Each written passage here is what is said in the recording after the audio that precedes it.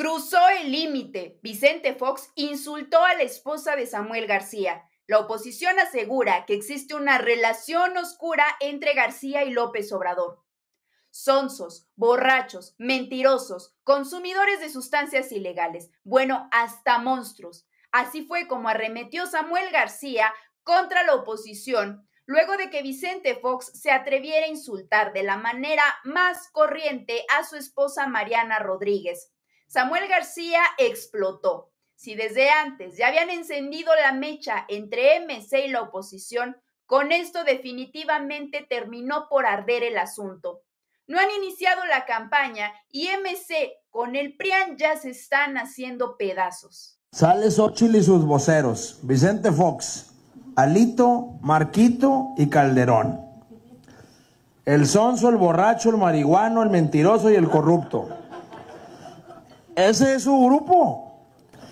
Ellos fraguaron una, pues un Frankenstein. Juntaron el agua con el aceite, el prián, porque el PRD ya no existe, está el pobre ahí te por ocho ahí de, pues rejuntado a ver si le dan algo. Los panistas, lejos de ofrecer una disculpa por los comentarios indignantes que hizo su abuelito Vicente Fox, se le pusieron rabiosos a Samuel García. Alito Moreno llamó al neolonés mentiroso y mitómano, alguien que por favor le explique que estos son sinónimos. Pero además, en la oposición acusan a García de que es el lacayo de López Obrador. Bueno, si tanto les molesta que le haga los mandados al presidente, ¿por qué explotó cuando el jovencito de esa calaña lo mandó a volar y no se les quiso unir. Lo que quieren es hacer un debate, falso debate, entre Xochitl Gálvez, quien es una mujer prestigiada, inteligente, y este político de caricatura que no tiene ni la altura para llevar un gran estado como Nuevo León, pero que viene a hacerle el servicio a Morena. Hay que precisarlo, lo vamos a poner en contexto y que él haga su trabajo político y nosotros el nuestro, porque no lo vamos a subir. Samuel García es un mitómano y un mentiroso y no lo digo yo, lo dijo él. Y les voy a decir por qué. El, en diciembre del 2017... La oposición salió en jauría. Marco Cortés, echando espuma por la boca, acusaba a Samuel García de hacerle el trabajo sucio a Morena y que en Morena tenían bien agarrado a García de ya saben dónde lo cual es completamente ilógico tomando en cuenta que Samuel García y Sheinbaum serán contendientes por la presidencia. Pero además, lo que les arde es que García no haya doblado las manitas ante los que le echaron montón del Frente Amplio del Corazón o como se llame esa cosa. Y lo que está haciendo Samuel García, claro y evidente, es prestarse, prestarse a los intereses de Morena como Esquirol. Ustedes seguramente lo registraron pero el único partido que decidió impugnar las candidaturas de género en las nueve gubernaturas fue el partido de el MC. Y díganme ustedes cuáles son los cinco hombres que MC está buscando impulsar. MC lo que estaba haciendo era ayudarle a Morena para que pudiera poner aquí a Harfuch. Pero ya no le cupieron los hombres. Entonces, pues pusieron a la mujer que pudieron poner. Eso es lo que está haciendo el partido de MC, haciéndole el trabajo sucio a Morena. Y lo que hay que hacer es evidenciarlo. Como muestra es que allá en Nuevo León, la bancada de Morena con MC votan junto en todo. Y como ustedes vieron hoy en la mañana, en la entrevista que le hacían en un medio de comunicación a este personaje, pues atacó a nuestra amiga Xochitl y cuando le preguntan de Morena, ah, cómo batalló, cómo le costó trabajo señalar a Morena, pues porque están aliados. Acuérdense que Samuel es facturero y lo traen bien agarrado de la Fiscalía General. En la política se pueden tener adversarios, pero no enemigos. Entendemos que la riña por la presidencia es una manzana de la discordia enorme, pero la oposición definitivamente cruzó la línea metiéndose con la esposa de Samuel García. Es absolutamente reprobable que hayan insultado llamándole dama de compañía a Mariana Rodríguez, lo cual, por cierto, ya le costó que le hayan eliminado la cuenta en Twitter o ex a Vicente Fox. Pero aún así, en los peores momentos, Andrés Manuel ha defendido la libertad de expresión, pese a que el mismísimo Vicente Fox le ha mandado a saludar a su mamá en las redes sociales. No debe haber censura. No debe haber censura y que este nada más que se entienda que todo eso que se hace de manera extravagante, grosera,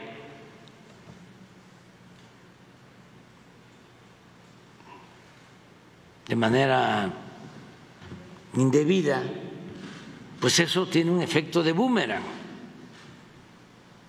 Eso se regresa y afecta a quien envía un mensaje así o se comporta de esa manera.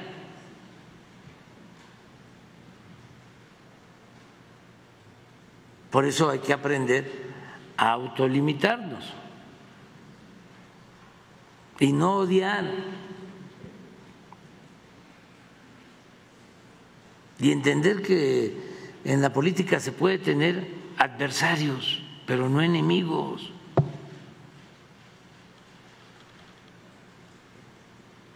Y acuérdense de la frase bíblica,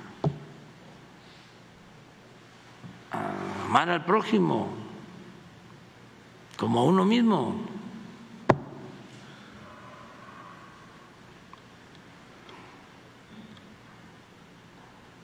Y por mucho enojo que haya, que respiren profundo que cuenten hasta 10. O un tafil. O pasiflorine.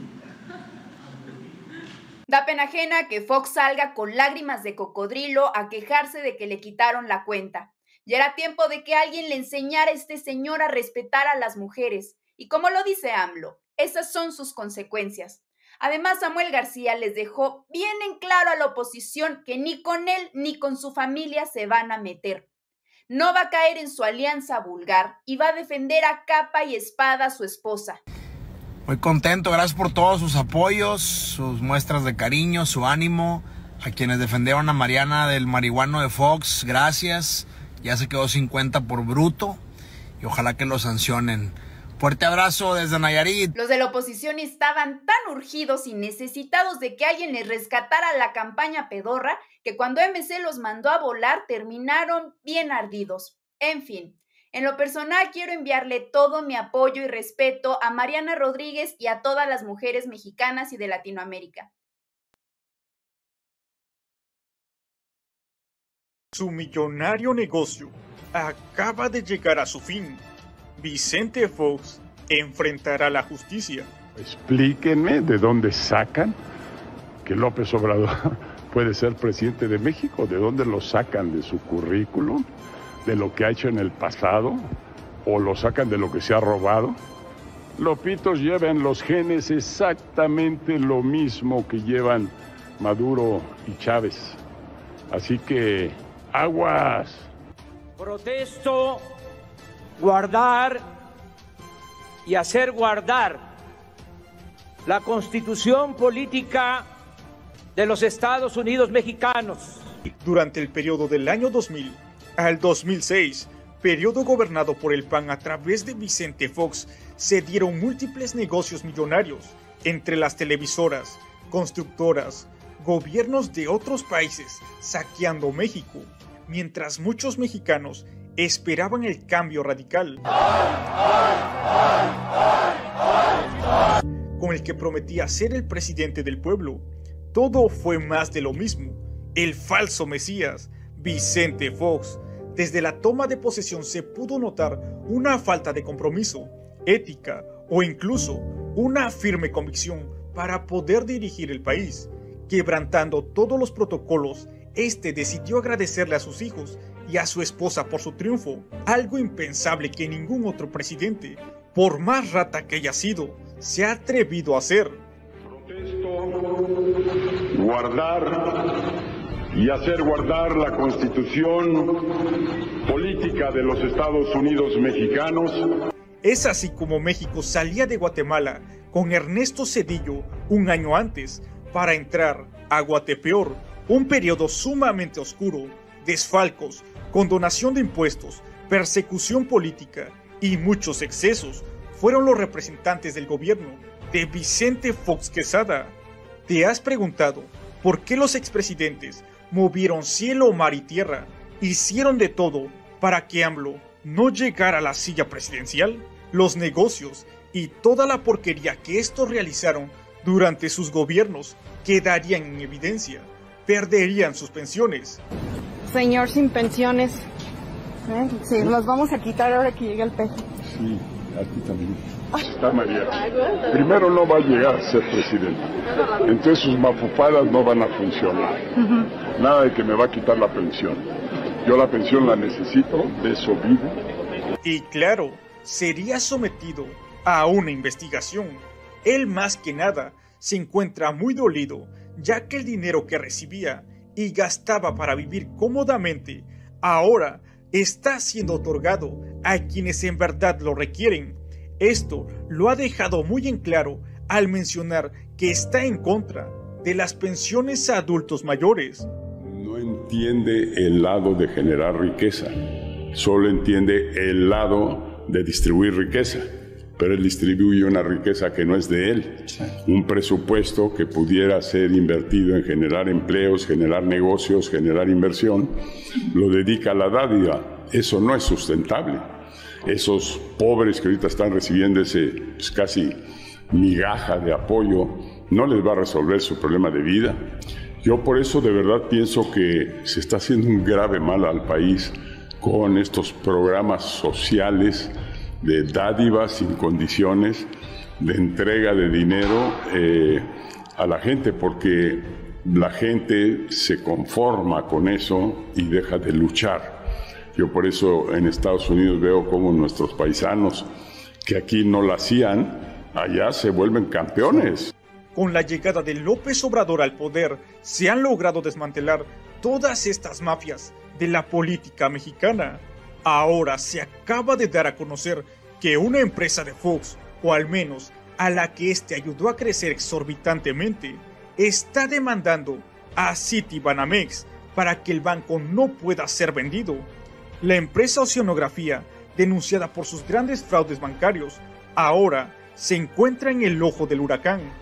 La familia no tenemos absolutamente nada que ver con ese tema, ni de un lado ni de otro en la familia. Eso está clarísimo para nosotros, cero preocupación, aquí estamos todos.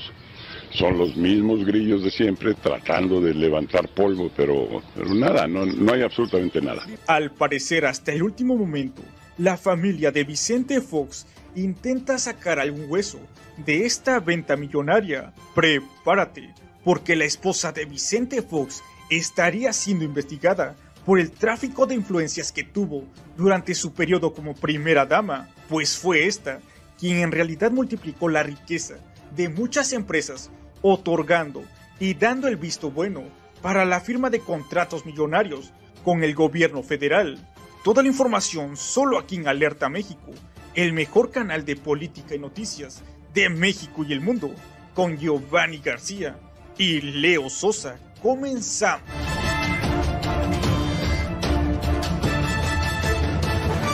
México, la nueva comunicación. No es ningún secreto cómo la familia, los hijos de Martita Sagún de Fuchs, se enriquecieron rápidamente, recibiendo contratos de forma directa sin licitación alguna, y aún así comentan que su conciencia está tranquila. ¿Paz interior, doña Marta? Totalmente. Me voy a la cama todos los días feliz y tranquila. Todos sus chakras en orden y en equilibrio. Sí. Insisto, conciencia tranquila. Absolutamente tranquila y en paz. ¿Nerviosa? ¿No? ¿Tranquila? Totalmente. Sabido por muchos mexicanos que Fox se fumaba sus buenos porrazos durante su administración, la misma Martita fue cuestionada por lo mismo. ¿Se echó algún porrito antes de esta entrevista? No, claro que no. ¿Lo ha probado? No. ¿Qué es un porrito? ¿Ninguna droga? No. Si quiere ver a sus hijos fuertes y sanos, póngalos marihuanos. No estoy de acuerdo. ¿El negocio de la legalización avanza? ¿De la droga? No es mi negocio ni es mi tema.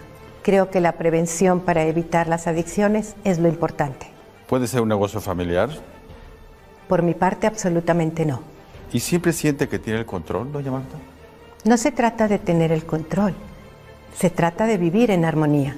¿Qué le haría perder los estribos? No lo sé.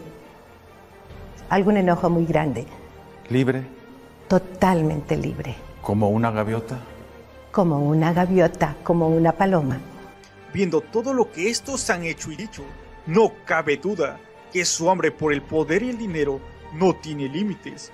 Años después de su sexenio, siguen causando estragos al punto de frenar la venta del tercer banco más grande de la República Mexicana, Banamex. Del Partido Conservador está lloviendo un mensaje de el expresidente Fox diciendo que si tenemos popularidad es por los programas sociales, porque entregamos lo que él llama migajas. Yo le preguntaría, este, y él entregó, aunque le llame migajas, le entregó apoyos al pueblo. Nada. Él gobernó para los de arriba. Él le ayudó a Roberto Hernández a que no pagara impuestos cuando vendió Banamex. ¿Por qué le extraña que tengamos el apoyo del pueblo si nunca en los últimos tiempos se había atendido al pueblo? Si el pueblo para ellos, para estos conservadores, no existía. La política era asunto de los políticos y era para atender a los grandes empresarios, banqueros, a los llamados hombres de negocio. Al pueblo ni lo volteaban a ver. ¿Qué hicieron por los jóvenes? ¿Qué hicieron por los adultos mayores? ¿Qué hicieron para mejorar la educación pública? Nada. Y mexicanos, hasta aquí el video de hoy. Espero que les haya gustado. Por favor, regálame una manita arriba, suscríbete al canal y comparte esta información en tus redes sociales. Recordemos que compartiendo esta información ayudamos al presidente López Obrador a poderle hacer frente a los medios de comunicación chayoteros. Por la patria, el presidente y nuestros hijos venceremos. Yo soy Leo Sosa y nos vemos hasta la próxima. No olvides compartir el video en tus redes sociales. También suscríbete y activa la campanita para que te lleguen todas las notificaciones de los nuevos videos.